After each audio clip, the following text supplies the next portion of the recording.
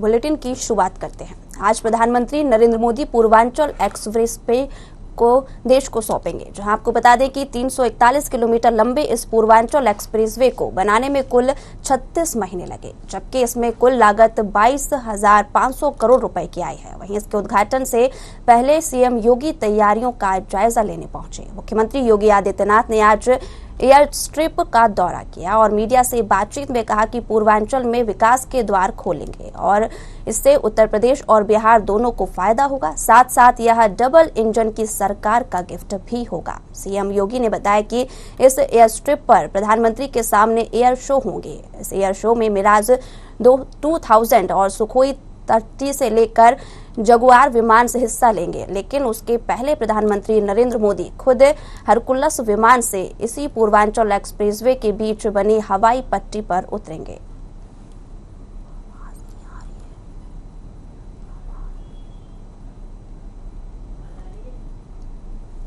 वहाँ से आ रही है, इसमें नहीं आ रही है।